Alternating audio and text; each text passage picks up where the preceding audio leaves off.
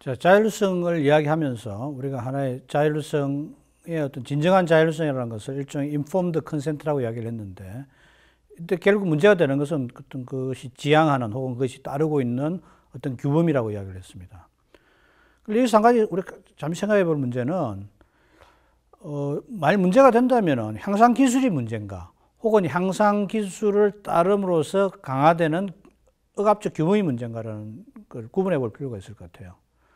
만일에 문제가 되는 것이 향상 기술 자체가 아니라 그런 기술에 의존함으로써 강화되는 억압적 규범이라면 그것이 문제라면 그에 대한 우리의 어떤 그 대응이라는 것은 향상 기술이 뭐 나쁜 거야라고 이야기하기보다는 우리의 어떤 삶의 방식, 지향, 즉 우리의 삶을 간장하고 있는 하는 규범들을 한 번 더 비판적으로 생각하고 개선하는 시도를 하는 것이 아닐까라는 생각이 들거든요.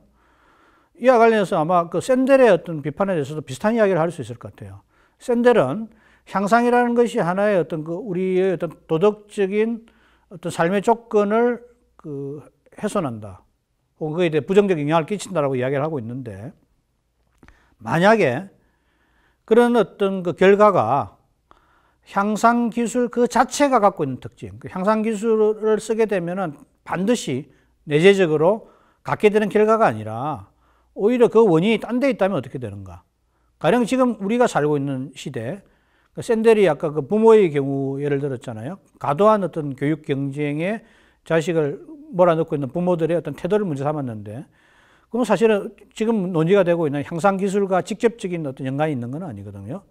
그래서 사실 그 밑바탕에는 소위 우리가 지금 신자유주의라고 부를 수 있는 정치 경제적 질서가 있는 거죠. 거기에 기반한 어떤 우리의 어떤 그 현재의 어떤 자본적인 자본주의적인 어떤 삶의 양식, 생활 양식이 문제가 아닐까라는 어떤 문제를 던져볼 수 있는 거죠. 그렇다면은 샌델이 어떤 언급하는 어떤 여러 가지 그 부정적 결과들이라는 것은 이러한 어떤 자본주의적인 삶의 양식이 갖는 한 가지 결과에 불과할 수 있죠.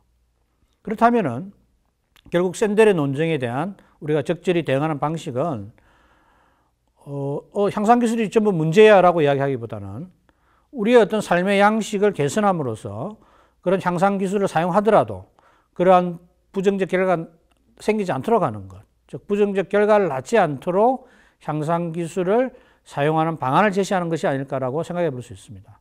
결국 이는 우리가 살고 있는 우리의 어떤 삶의 조건으로서의 여러 가지 정치 경제적 구조 및 아까 forms of life라고 그랬죠. 삶의 양식에 대한 하나의 변화, 개성과 직결되어 있는 문제라고 이야기할 수 있습니다. 이와 관련해서 우리가 생명 정치라는 표현을 한번 도입해 볼 수 있는데요. 그 생명 정치라는 말은 어떤 정치적인 어떤 입장을 분석함에 있어서 생명에 대한 어떤 견해가 어, 어떤 어떤 정치적 요소로서 그 평가될 수 있는가라는 것을 말하는 건데요. IEET라고 부르는 일종의 이것도 그것도 하나의 transhumanist들의 어떤 그 모임이라고 할 수 있는데 Institute for Ethics and Emerging Technologies라고 하는 웹 인터넷을 기반으로 하는 연구 단체가 있습니다. 거기에 어떤 그 딜렉터라고 있는 제임스 휴즈라는 어떤 미국의 학자는 이렇게 주장을 합니다. 우리가 어떤 정치적인 좌우 논쟁이랄까요? 정치적 견해를 분석할 때 기존에는 우리가 주로 문화 정치학 혹은 정치 경제학적인 차원에서 분석을 하는데 이제는 생명 정치적 차원을 덧붙여서 3차적인, 3차원적인 방식으로 이루어져야 된다. 그러니까 문화 정치학의 축이 하나 있고 정치 경제학의 축이 있다면 또 생명 정치학의 어떤 차원을 집어넣어야 된다고 이야기하고 있습니다. 그런 관점에서 생명 정치적 요소를 통해서 어, 정치적인 어떤 입장을 크게 네 가지로 분류하고 있는데요. 하나는 libertarian transhumanist, 우리말로 하면 자유주의적인 transhumanist라는 입장이 있고요. 그 다음에 techno-progressives라는 입장이 있습니다. 이건 이제 또 일종의 transhumanist들의 입장인데 기술 진보론자, 그러니까 약간의 어떤 좌파적인 어떤 transhumanist의 입장이라고 이야기할 수 있습니다. 이 두 입장의 어떤 그 인간 향상의 어떤 약간은 어떤 그 어, 찬성적인 찬성하는 어떤 그런 입장이라면 그에 반대하는 어떤 입장들 우리가 bioconservative라고 불렀잖아요. 그 생명 보수주의라 불렀는데 여기도 그 정치적 지향에 따라서 좌파냐 우파냐를 구분할 수 있습니다. 우리 여기서 좌파적인 어떤 생명 보수주의자는 지금 우리가 논의하고 있는 마이클 샌델이나 하버마스 약간 조금 그 애매한 측면이 있지만 프랜시스 후쿠야마도 여기 넣을 수 있을 것 같아요. 그 후쿠야마가 기본적으로 좌파 철학자는 좌파 정치학자는 아닌데 최소한 이 생명 정치적 차원에 있어서는 상당히 어떤 좌파적 요소를 많이 보이고 있는 것 같아요.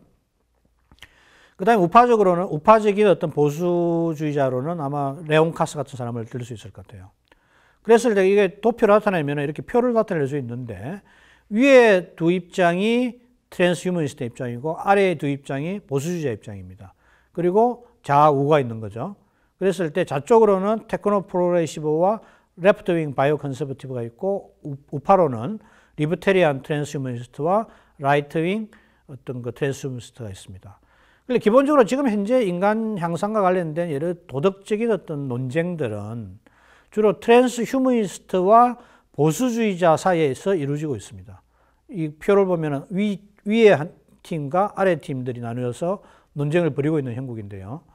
그러나 이걸 조금 수정할 필요가 있지 않은가 하는 생각입니다.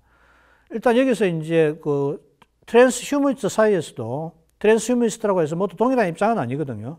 특히 어떤 그 생명 정치적 입장에 있어서는 상당히 어떤 차이가 많이 있습니다. 그래서 어떤 자유주의적 transhumanist와 어떤 기술 진보주의, 우파적인 어떤 transhumanist 사이에는 여러 가지 쟁점들에 대해서 그 견해를 달리하고 있는데 이걸 간단하게 이렇게 표를 정리해서 제가 요약을 했습니다. 이 내용은 그 IEET 어떤 홈페이지에 있는 내용들을 가져와서 번역한 건데요. 핵심은 이겁니다. libertarian transhumanist들은 일종의 어떤 그 문화적인 차원에서는 자유주의적 입장, 경제적인 입장에서는 자유방임주의, 그 다음에 생명정치 입장에서는 transhumanist를 받아, transhumanism을 받아들이는 입장이라고 이야기할 수 있습니다.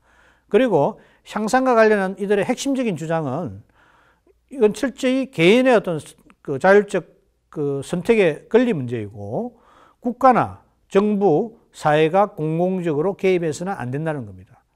그리고 만일에 위험이나 불평등과 같은 것들이 문제가 된다면 이건 시장을 통해서 조정되거나 통제되어야 되지 국가나 정부가 어떤 주도권을 가져서는 안 된다라는 철저히 어떤 시장 중심적 자본주의를 깔고 있는 그, 그 요즘 말하면 신자유주의적인 입장이라고 이야기할 수 있죠.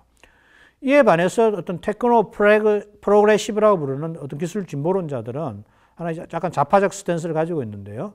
이들은 인간 향상 기술이라는 것들을 사용하는 것에 원칙적으로 동의하면서도 이것이 단순히 어떤 순수히 개인의 어떤 자율적 권리나 선택의 문제라기보다는 하나의 어떤 국가나 정부 혹은 사회적 단위의 개입이 필요한 문제를 보고 있습니다. 그래서 이들은 향상 기술을 어떻게 윤리적으로 사용하고 그것들을 민주적으로 통제할 것인가 그리고 이것들을 어떻게 인류 전체의 어떤 복지의 향상에 어떤 도움이 되도록 사용할 것인가 이런 것들에 초점을 맞추고 있는 거죠. 그래서 이들은 기본적으로 인간 향상이라는 것은 근본적으로 강화된 민주주의와 병행되어야 된다 이렇게 주장하는 거죠. 그러니까 기본적으로 우리가 자유와 민주의 개념이라는 것이 약간의 어떤 중요한 두 가치이긴 하지만 많은 경우 이들이 충돌하잖아요. 그래서 이들의 어떤 주장들도 앞쪽은 어떤 자유 중심주의, 밑에는 어떤 민주 중심주의 이렇게 분석해 볼 수 있을 것 같아요. 그랬을 때 지금까지 어떤 논쟁이라는 것은 아까 앞서 이야기했듯이 그 휴머, transhumanist와 생명 보수주의자의 사이에 이루어졌기 때문에 생명 보수주의자라는 것은 기본적으로 인간 향상 기술을 그 금지하자 혹은 반대하는 입장이거든요. 그러다 보니까 이들 사이의 논쟁이라는 것이 인간 향상을 허용할 거냐, 금지할 거냐 이런 어떤 방식으로 진행이 되고 결국 향상을 금지해야 된다면 어떤 원칙적인 이유에 있어서 우리가 향상을 금지할 것인가라는 방식으로 논쟁이 진행되었습니다. 그런데 문제가 이렇게 설정되고 나면은 어떻게 뭐 어떤 이유로 금지할 건가라고 문제를 설정하고 나면은 결국 그 논쟁에서 중심이 되는 쟁점이라든지 고려, 고려 사항이라는 것이 상당히 어떤 제약되는 제한되는 방침이 주어지는 어떤 쟁점이 뭔가가 결정돼 버리는 거죠. 그랬을 때 지금까지 논쟁에서 중심적인 쟁점이라는 것은 인간 향상의 시도 자체 속에 내지 않은 어떤 규범적인 문제점들에 초점이 맞춰져 있습니다. 향상이라는 것이 규범적으로 이런 문제점을 내포하고 있다라는 거죠. 그러니까 어떤 의미에서 그 향상과 약간 외제적인 향상의 외제적인 결과에 관한 부분 그러니까 이런 것들 하나의 위험성이라든지 불공정성 뭐 이런 것들이 있을 수 있는데요. 그런 것들은 향상을 통해서 그 내재적이라기보다는 향상을 통해서 외제적으로 기결되는 것들인데 이런 것들은 사실은 미래에 어떤 일이 일어날지는 예측이 불확실하고 불명하죠. 그리고 경험적으로 우리가 확인해야 될 문제이기 때문에 이런 것들이 전면적으로 등장하기보다는 그 가치 문제에 훨씬 더 초점이 많이, 많이 맞춰져 있었던 거죠. 그래서 주로 향상에 반대하는 사람들은 인간 존엄성이라든지 인간의 자율성, 인간의 자만심, 삶이 가지고 있는 어떤 자연이 가지고 있는 어떤 신성함, 그 다음에 아까 샌델처럼 선물로서의 삶, 이런 어떤 대단히 규범적인 개념들을 가지고 향상을 비판하고 있습니다. 반면에 찬성론자들은 기본적으로 자유주의적인 자율성, 관용, 해악의 원칙과 같은 철저히 자유주의적인 프레임 속에서 어떤 자신들의 입장을 옹호하고 있습니다. 어떤 그 여기서 가장 핵심적인 원칙은 그 존 스튜어트 밀의 해악의 원칙이죠. 개인의 자유 혹은 자율성이라는 것은 타인에게 직접적인 해악을 초래하지 않는 한 제약될 수 없다는 거죠. 오직 그 타인에게 어떤 해악을 초래하는 경우에만 또 사회적이거나 정치적 권력에 의해서 제약될 수 있습니다. 그래서 이런 관점에서 향상 문제를 접근하다 보니 우리 흔히 말하는 지난번에 이야기했던 자유주의적 우생학 같은 태도들이 나오는 거죠. 그리고 국가는 자신의 삶에 대해서 내리는 개인의 선택을 가능한 존중해야 된다. 이런 이야기죠. 여기서 문제는 이제 제가 생각할 때 좀 더 어떤 논쟁의 어떤 그 중심이 바뀌어야 되고 여기서 어떤 우리가 계속 개인의 자율성을 조금 문제 삼고 있는데 개인의 어떤 자율적 선택 권리를 우리가 어떤 그 override 한다 그러죠. 뭐라 그럴까요? 이걸 그 이게 자유 개인의 어떤 선택 권리가 이차적인 권리. 그러니까 이게 prime 어떤 그 최상의 권리가 아니라 어떤 조건에 따라서는 개인의 선택 권리가 제약될 수 있는 조건. 그런 것들에 대해서 한번 논의할 필요가 있다고 생각이 듭니다. 그래서 기본적으로 어, 여기서 제안하는 것은 인간 향상의 논쟁이 너무 어떤 transhumanist와 생명 보수주의 사이에서 이루어지고 있는데 이것들을 좌와 우의 대립, 특히 자유주의적 transhumanist와 기술 진보주의자 사이의 대립으로 바라볼 필요가 있고 이 경우 우리는 어떤 그 이들 사이에 가장 핵심적인 쟁점이 되는 것들이 뭐냐면 결국 사회적 정의나 불평등의 문제를 어떻게 접근할 평가할 것인가라는 거거든요. 그 이런 문제가 훨씬 중요한 문제이기 때문에 이런 것들에 대해서 좀 더 많은 논의가 있어야 된다는 겁니다. 그랬을 때 결국 이렇게 문제를 다시 설정하고 나면은 그 가장 핵심적인 질문은 사회적 평등 혹은 그, 그, 그와 유사한 어떤 공동체적인 가치, 그 우리 인간적 사회가 담보해야 될 가치를 진작시키기 위해서 우리가 어떻게 향상 기술을 활용하고 통제할 것인가. 특히 여기서 민주적 통제가 굉장히 중요할 것 같은데 그런 것들이 자연스럽게 중심 쟁점으로 떠오른다는 거죠. 이전의 논쟁은 향상 기술을 할 건가 말 건가라는 문제라면은 지금은 향상 기술을 사용하는 것은 불가피해 보이는데 그렇다면 이것들을 어떻게 우리가 도덕적인 방식으로 활용할 것인가의 문제로 바뀐다는 거죠. 여기서 몇 가지 이런 것들입니다. 이런 이유가 있습니다. 그렇게 생각하는 데는. 먼저 향상이라는 것이 어, 자유주의자들이 말하듯이 어떤 개인의 선택 문제라기보다는 사회 구조의 문제로 보이기 때문입니다. 지금 현재 향상 기술의 발전을 추동하고 있는 힘은 사실은 우리가 어떤 인간적인 어떤 삶의 가치랄까요? 어떤 뭔가 목적 지향적인 그 형태로 이루어지고 있는 것이 아니고 또 그것의 가정 자체도 어떤 민주적인 어떤 거버넌스랄까 이런 가정을 걸치는 것이 아니라 철저하게 자본주의적 경쟁 속에서 돈을 벌기 위한 것, 경제적인 인센티브와 그에 따르는 어떤 경쟁 압력에 의해서 기술이 발전하고 있습니다. 그리고 이런 사회에서는 철저하게 지금 우리의 가장 지배적인 가치는 경쟁과 효율입니다. 그 시장적 가치인 거죠. 여기서 어떤 민주적이거나 어떤 인간 삶의 어떤 그 가치에 대한 그 고려가 없습니다. 이랬을 때 우리는 그, 그런 어떤 가치에 매몰되어서 굉장히 어떤 과도한 경쟁 지향적인 생활 양식을 살고 있는데, 받아들이고 있는데, 이 경우 개인들은 사실은 선택권이 없을 가능성이 있어요. 표면적으로는 선택권이 있는 것처럼 보이죠. 왜냐하면 개인들이 스스로 능동적이고 자발적으로 그 형상을 선택하기 때문에.